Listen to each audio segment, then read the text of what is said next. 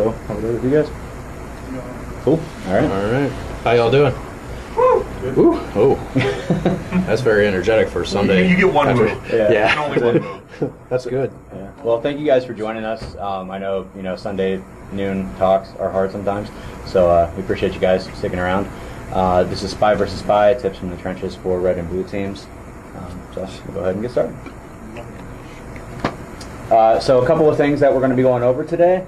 Uh, we're going to go through a few pretty common but still pretty effective attack scenarios and kind of show a phased approach for those attacks. So we're going to talk about the basic attack and then what the defense might look like for that and then how you kind of ramp that attack up a little bit, back and forth, so on and so forth, kind of demonstrate that cat and mouse nature that we often see between, you know, offense and defense. So, a little bit about us. Right. So I'm Thomas McBee. We're on Twitter at Tifanis. I'm a security or a, senior analyst with Secure State, primary primary rec, uh, for defense. Yeah, primary responsibility. I'm Jeff, uh, Jamcut on Twitter, also at Secure State, and primarily responsible for the offensive side. So before we jump right into the scenarios, um, how many of you are familiar with the NIST CSF? Imagine a couple, a couple hands going up. Cool. Okay. So if you're not familiar with it, I'm not going to get into like great level of detail about it, but just understand that it's a it's a framework for managing cybersecurity risk. These are the the five phases that it kind of goes through, um, and you can kind of see that you can you can pretty easily break those five phases up into two groups: proactive and reactive. Um, so the One second, guys. You go back a. Oh, yeah, yeah, yeah. Microphone is, uh, excuse this audio gap, but. Uh, You. Whoops. Do I go back a slide? Is that better? So, number one, if you're going to stand away, please use that. Okay. Or pass. Okay. And and this one, I just needed to be out, so it was behind here, which. Thank very much. No worries. Yep. Sorry about that. Okay. So we'll uh, go over this again real quick, but basically, uh, these would be the the five phases of the NIST CSF, uh, further broken down into two groups: proactive and reactive. So um, we're going to talk about through this conversation a couple of, of different phases here and kind of look at different ways to maybe consider your defensive strategy. Um, so the the protective defenses would be things that you do to limit the uh, limit the ability to be breached, right? So these are things you're going to do up front to shore up your defenses, make yourself stronger, kind of the classic, you know, harden the perimeter sort of things. Um, all kind of proactive. And then uh, the detect phase would be uh, what you can do after the fact uh, if a breach does occur, how you can determine that a breach has occurred uh, in a timely manner, and what you can do to respond to that. So those are kind of the two classifications. Uh, so with that out of the way, the three attacks that we're going to be covering today, everyone should be pretty familiar, but phishing, malicious devices, and password attacks. So we'll jump right into phishing. Um, like I said, everyone's probably aware of what this is by now, right? But uh, social engineering, specifically through email. Uh, there could be any number of different results. Most often, we're trying to capture credentials, or maybe trying to get a shell on our target. And like many other things in information security, it's often associated with very bad stock images. All right, so for basic defenses, uh, when it comes down to phishing and phishing awareness, is basically going to be your user awareness training. Um, a lot of times, what we see is like normal training campaigns are using way out of date material. You know, we're all pretty well familiar with the uh, Nigerian prince scams. Uh, a lot of people still actually use this in their user awareness training. So let's quit utilizing those type of images. Let's start thinking like an attacker would, or red team it yourself. Start thinking critically about how you're going to train your users up um, by using real world scenarios. Also, up your game when you're doing this. Don't water this down for your C stack. Uh, you want to make this as realistic as possible. Start start focusing on things like creating a sense of urgency, requesting that sensitive information. Get those emotions stirring when you send those uh, when you send the fish out. Also, try mod- modifying your sender domain to look legitimate. Okay, so um, originally we came with like a pretty basic fish, right? Uh, the the guy with the mallet. Um, Tom's got some defensive strategies in place, some user awareness. So it's our job now to send a better fish, right? Uh, what we have to really do is some maybe some in-depth research, social and technical. We have to make our fish as convincing as possible. Um, there's a lot of interesting lures on John Lambert's Twitter. If you're not following him and you do social engineering, that's probably an account worth checking out. He posts a lot of interesting stuff up there, a lot of stuff that you may be able to reuse or modify for your own phishing campaigns. Um, these are a couple of images maybe of what we would consider like a better pretext, right? This is some of the templates that we have in the Kingfisher tool, uh, but things that have like realistic styling behind them that look, you know, presentable and professional, uh, and not just something that was kind of slapped together and, and shot out to, you know, company name dash all. Okay, so as we start to send off that better fish, we need to start looking at ways that we can prevent that fish from achieving, uh, gaining access to our users. We want to start introducing different technical controls that we could put in place. So things like Sender Policy Framework or DKIM, Domain Keys Identified Mail.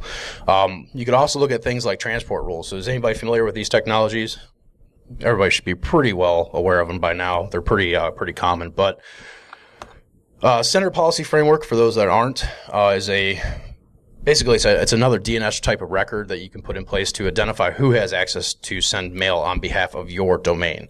Um, a lot of times, what we see from the defensive standpoint, as we're looking at, or from the attack uh, attack standpoint, is a lot of our a lot of times when you see an SPF record, you see like a soft fail or just the pass all in there. You really need to kind of suck this up, guys, and just put in the, the hard fail. Um, there's really no reason why you would need a soft fail for an SPF record. Uh, if anybody is not sure how to create the SPF record, there's uh, the SPF wizard. It walks you through the process. Pretty standard, pretty pretty easy to follow along with. And if you ever need to check, if you're not doing it like an NS lookup, you could also use uh, Kitterman's site to validate that the, that your SPF record is in place and functional. Uh, domain keys identified mail. Uh, it's kind of like your public and private keys for for uh, for your mail systems. Um, again, this is another DNS type record um, where you, you send off your message, it gets encrypted with your private key, and then the receiving end looks up your public key and uh, your DNS record. Also, exchange transport transport rules. Um, if you haven't really played with transport rules too much, uh, these are very effective. It, it really it's very similar to Outlook rules that the client would see, uh, but you can put these in place, of course, to route uh, your your mail the way you wish to. So start looking at things like how can I black hole top level domains that are not, um, you know, that of course like dot .corn here, uh, where we don't want to allow that to go through uh, to our users. So start thinking of things like, okay, hey, can I generate uh, domains based off of my domain that re- closely resemble, and start black holing those as they come in. Okay. So we have some technical controls in place now in the environment. Um, now it's our job to see what we can do to maybe circumvent those controls. So uh, one thing you might want to consider uh, is just maybe sending a meeting invite instead of a actual message, right? So this would be something that drops in. I don't know about you guys. I know when I get calendar invites, a lot of times I'm just like accept, accept, accept because I have 20 other things going on and I'll get to it later. Um, we've had pretty good success with this, sending that in, uh, you know, and our target's reacting the same way.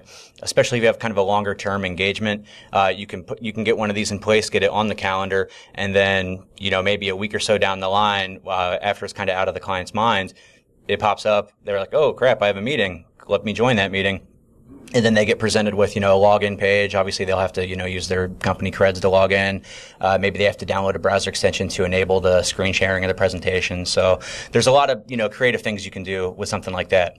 Tom mentioned the corn domain um, or the tld rather if you guys haven't tried something like that Obviously, the the technique here is that it looks like calm at a first glance, but it's not. So uh, you can a lot of times you have good success getting that into the environment if it hasn't been black holed uh, through a technical control.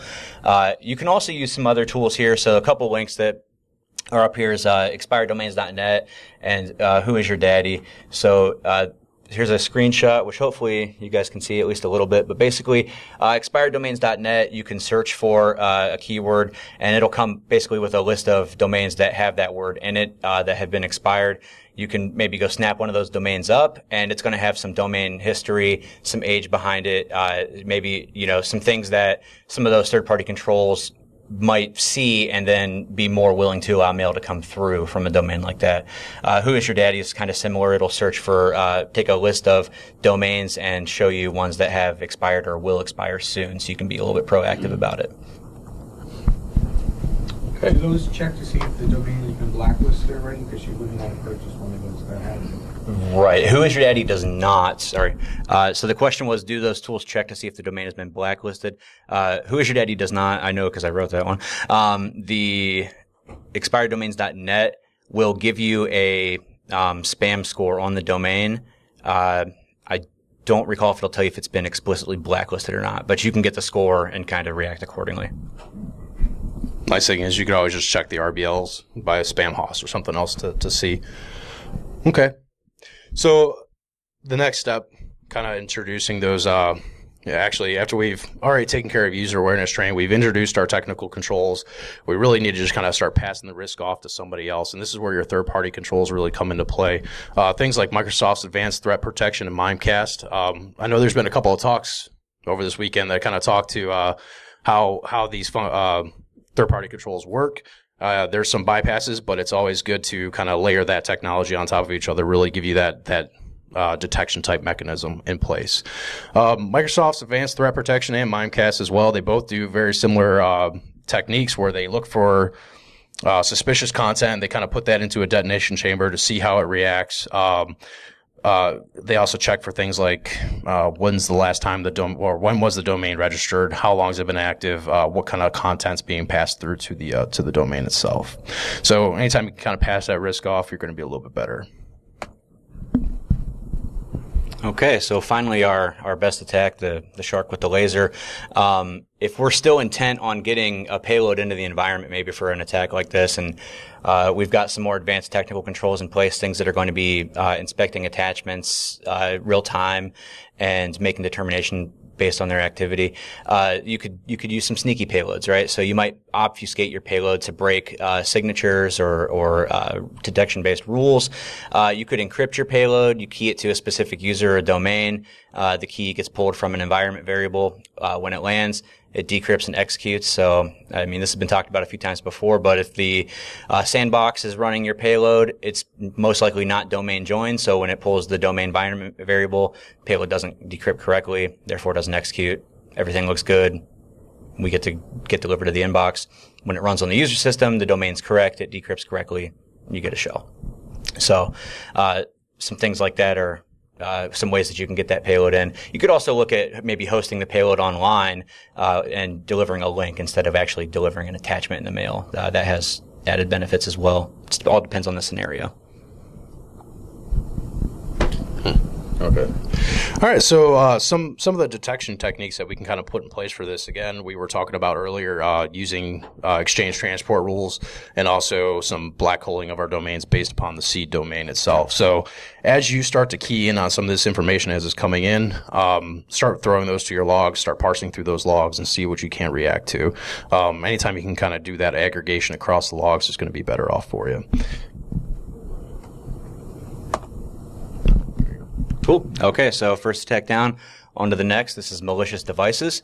Uh, these are media devices that are used to entice users to plug them in and compromise their own system for you. Uh, usually USB device at this point. Way back in the day, they used to rely on auto run attacks, but that's pretty much gone now. Uh, basic attacks at this point in time are going to typically use maybe Microsoft Office files with a macro in them, or maybe just a straight up executable payload on the flash drive itself. Okay. So this one here is pretty pretty stock standard, right? It's been around for a while, disabling things like auto run and macros for the end users themselves. Uh, Microsoft's got some great group policies, uh, walkthroughs on how to do this. Um, especially with Office 2016 now, this this uh, link in the in the slide here really kind of speaks to blocking out the macros from anything that's coming in from the internet uh, to the user's inbox. So if you get a chance to look at the slides later on, definitely check out that walkthrough. It's very good. But uh, basically using group policy objects to uh, just denote who and what macros are allowed to to uh, to execute based on where they're coming from. All right, so if we're going to stop, you know, auto run, we're going to stop macros. Maybe as an attacker, it's time to just stop with the executable payloads in general, right? So maybe not something that they just double click on and, and get owned, but something else, something different. We'd say maybe go with a HID attack. Um, if you're not familiar with that, that's a human interface device. A lot of options to perform this attack. The probably the most classic example is the rubber ducky. Uh, Bash Bunny is kind of the new hot one right now. A couple other options as well, but basically this is a device that you plug in. It's going to act like a, a keyboard, and it's going to start typing out commands and keyboard shortcuts on your behalf. Probably going to run like a maybe a PowerShell one-liner or some other type of command to download and execute a file.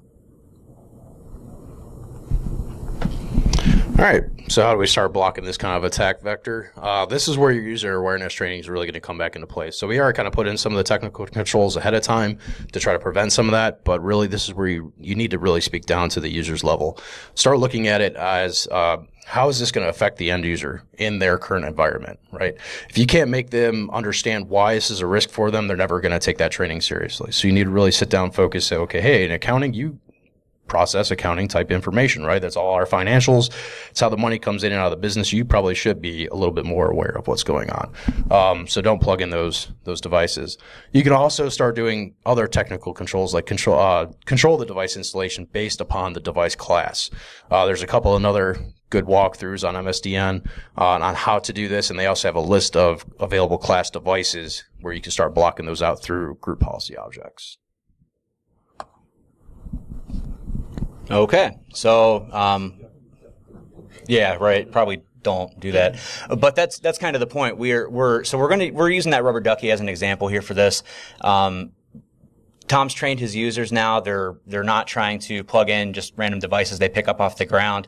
So it's our job as an attacker to make that even harder for them to resist, right? Maybe they're not just going to pick up some, you know, unassuming flash drive, but if we can kind of sex that up a little bit and make it harder for them to resist that, we might have a greater chance. So walk through a couple images here, but this is a standard rubber ducky. If no one's uh, ever used one, you crack it open. There's the little PCB inside, but it's pretty uh, unassuming, uh, pretty generic looking flash drive. Uh, however, how could we spruce this up? Well, there's a company called FlashBay. I'm sure there's many others like it, but they do, you know, branded USBs for marketing and, and promotional giveaways and things like that. Uh, but they're actually super helpful. If you call them up and ask for a demo kit, they'll send you this thing. And it's got a lot of the different form factors with the company logos and stuff on there. Um, Side note that the flash drives that they'll send you are not actually functional, um, but it's pretty easy to just crack open the housings on them and stick your own PCB inside. So, next slide. That's what we've done here. We've taken one. Uh, that's the stock ducky on the left.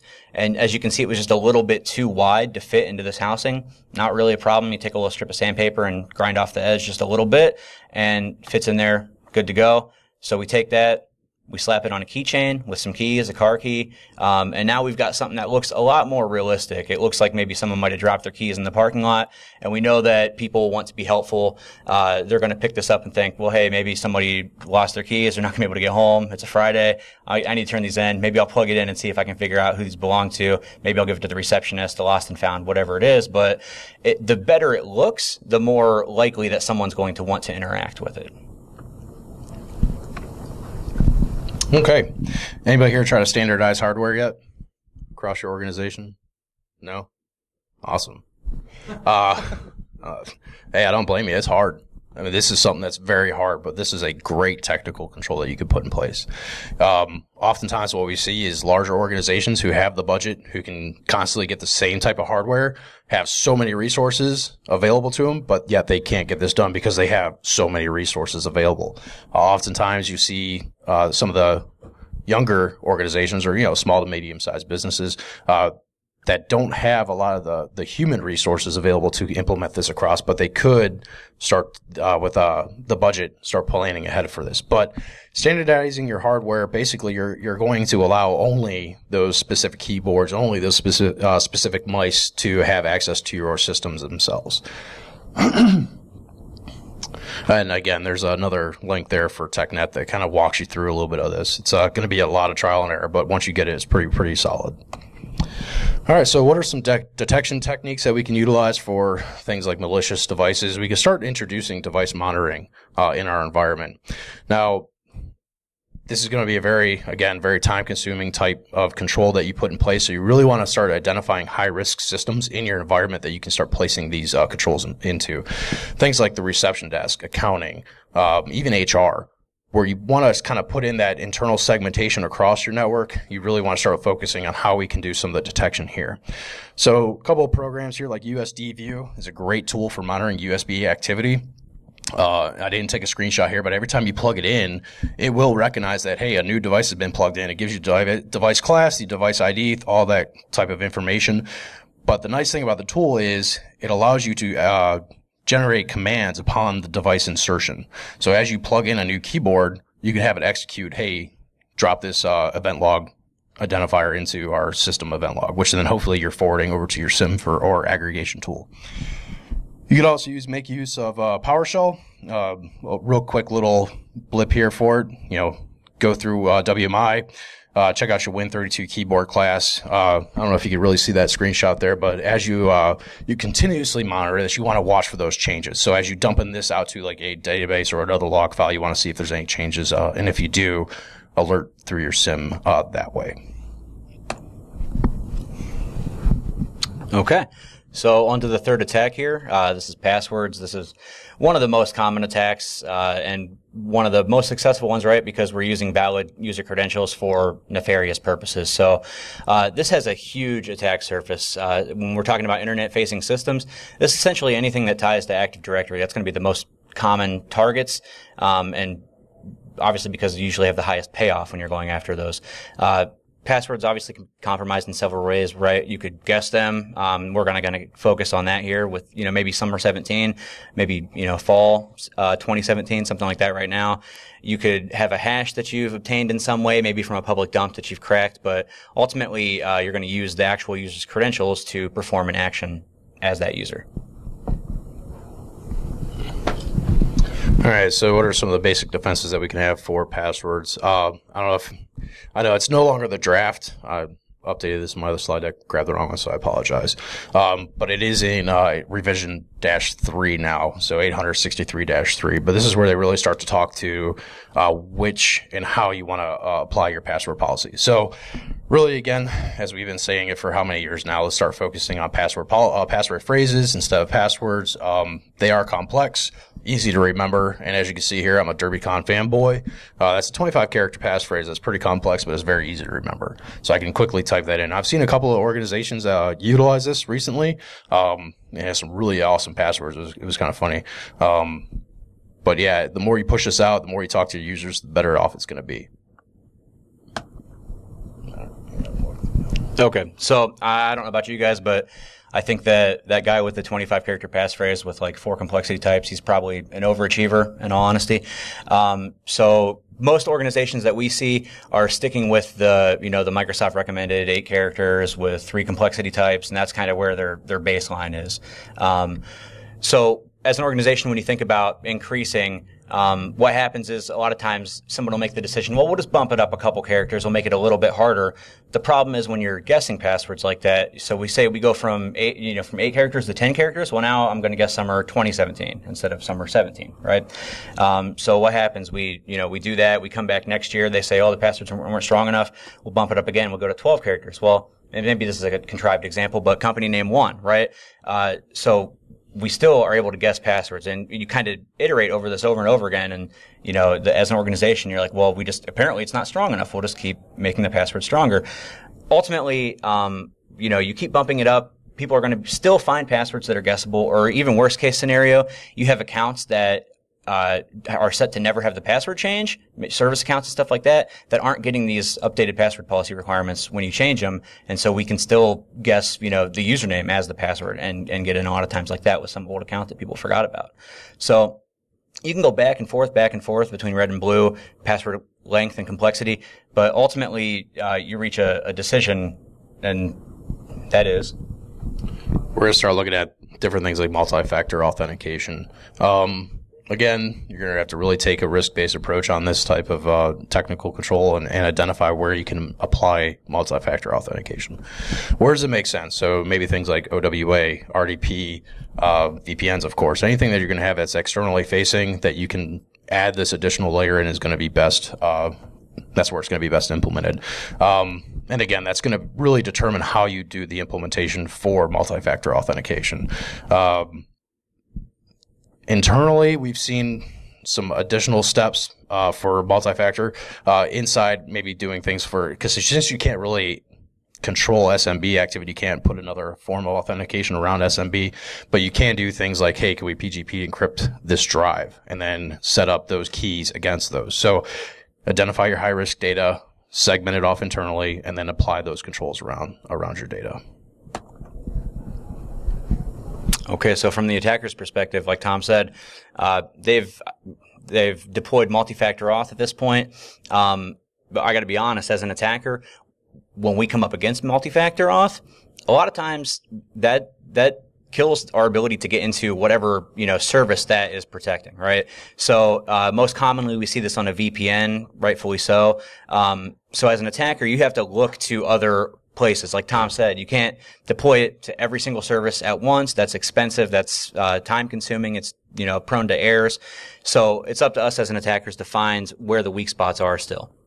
So look at things like file sharing applications. Uh, look at things like Link or Skype. Uh, OWA is a huge target and one that we don't see uh, multi-factor deployed on very often. Um, if you do have access to OWA and there is a multi-factor uh, on the login page, you could still look at using a tool like Ruler uh, to gain access through another protocol like MAPI or the RPC interface that doesn't have that multi-factor authentication enabled. And then from there, you can uh, you know obtain a shell or uh, you know send a message as that user, an internal fish and just kind of expand the breadth of your compromise at that point. So it's really about identifying where your target has not been able to deploy that multi-factor auth and then specifically drilling down on those services. Three minutes. All right. All right, we'll probably run through this real quick. Um, we only got three minutes left. So detection techniques for for these uh, for login and authentication. Uh, anybody here familiar with NetLogon or using the the diagnostic tools? Awesome. So enabling that the NetLogon debug mode allows you to really track failed network authentication, things of that nature. So as, as, you know, the attackers hit you with a fish, they gain access to the environment. Uh, this is going to help you pinpoint where that's actually originating from inside your environment. Uh, NL test is the tool that you want to use and there's a DB flag. Um, watch how quickly this thing, uh, fills up for the logging aspect. It, it does fill up very quickly on your domain controllers. All right, so as part of this, we kind of walk through and you start to see that hey, there's a lot of trending that's going on here, and what you really see is again a major major focus on user awareness training as well as uh, technical controls. So it's kind of where that bounce back is around the whole slide deck itself, but really focusing on that user awareness training and talking to your users and go, hey, this is why risk applies to you. Um, is what you've really seen here. A lot of this all kind of falls back into our protect phase back in the CSF itself. So as you're going through and you start to see these attacks and all the controls that we're putting in place, they all kind of fall along that protect uh, protect line. Uh, we're you really want to start focusing on how to detect these types of attacks. And just want to run through it real quick just so we can kind of get some questions if you guys have any questions. Um, but again, thanks to the DerbyCon organizers and Emily for putting putting together our slide deck. But uh, that pretty much wraps it up. Does anybody actually have questions? I would love to have a, little bit of open dialogue. Yeah, we can have them outside. If anybody has any questions, that'd be great. Okay. Hey, thanks, guys. Appreciate it.